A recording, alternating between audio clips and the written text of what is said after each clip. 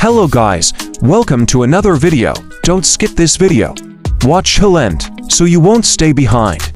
Guys, please don't forget to like this video. Don't forget to share this video. Don't forget to follow this page. So you don't miss out on our daily post and turn on your notification bell. It is important.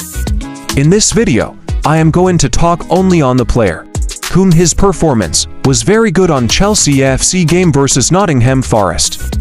At Stamford Bridge, his name is Malo Gusto. Gusto is a cutback specialist.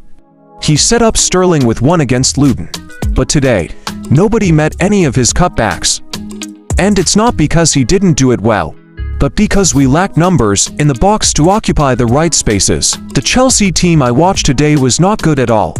I don't know if they are defending a trophy. They were nowhere near scoring goal. Infant.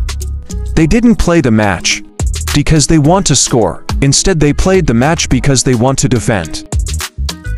Chelsea AFC boss, Pochettino said, In the process, you are building a team in an offensive situation in a game. And in the intensity. You can make rash decisions and rush chances sometimes when you need to be more relaxed and calm. It can happen, and we need to stay calm and work really hard to improve, and I think this is type of thing that will improve us.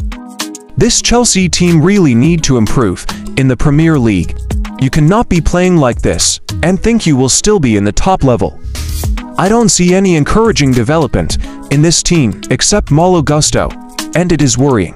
If you say he was very poor going forward, that's the problem with people saying Gusto was poor because of cutbacks.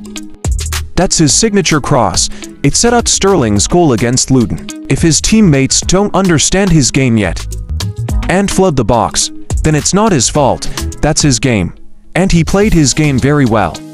I don't want to argue with anyone, but I have a question for people who said Gusto didn't have a good game. Is it because nobody was there to connect his crosses? Or because his crosses ended up as a goal kick? He made recovery tackles, he played 1-2, and provided outlets. Also had a few cutbacks. Just because the team was bad, doesn't make his performance bad. For me, he did his job very well.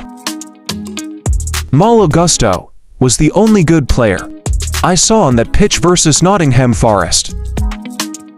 Guys, if you watched to this far, thank you, and God bless you. Please, don't forget to share, like, and comment on this video. See you in the next video.